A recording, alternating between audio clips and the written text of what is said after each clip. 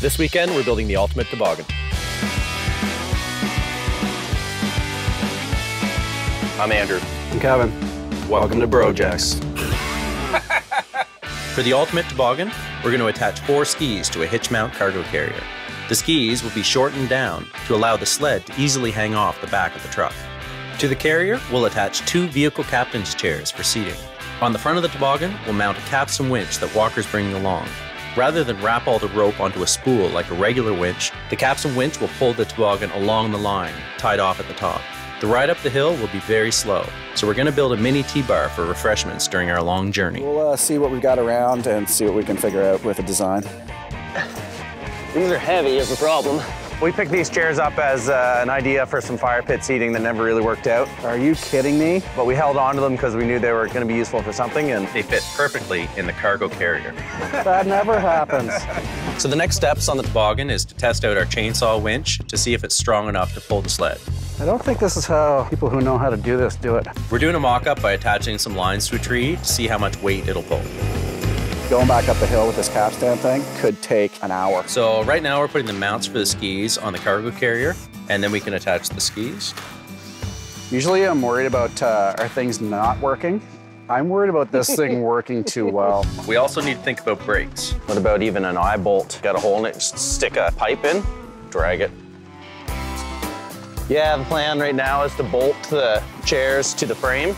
We need to make sure the seats are well attached to the frame. Uh, we don't want anything flying off. And then I think there is the winch to deal with.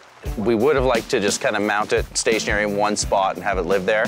If it was mounted to the frame for the ride down, that would be handy. But for safety reasons, we think we're gonna ride with it on the back of the sled on the way down the hill and then pick it up, move it to the front for the way back up. We don't want the whole thing to tip backwards, so we might wanna keep a couple long skis, but it also needs to fit on the back of our truck. Uh, Junior just lost a little game, so he's got to be the guy who climbs up the hill, attaches the rope. As soon as he does that, comes back down, we'll hook up our sled and pull ourselves up, and then we're ready to come back down. This is how you take the effort out of tobogganing.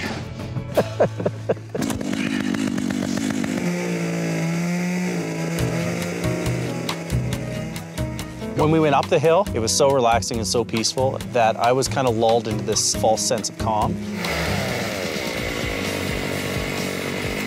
what do you think? Can't believe it worked that well. Love you, brother.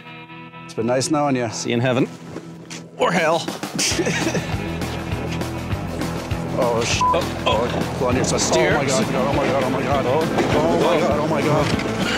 Hang up, whoa! Lean back. Take it in on your side.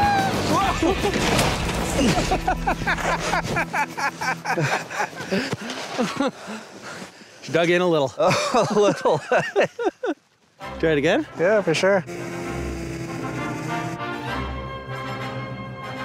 Turned it around and came back down. Yeah.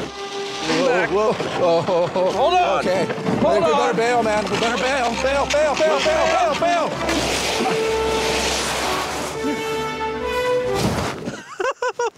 It was terrifying. The thing was basically out of control. We got some good speed.